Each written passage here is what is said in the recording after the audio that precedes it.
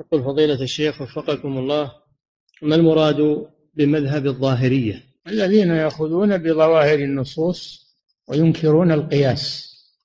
ينكرون القياس هذا هم الظاهرية. نعم.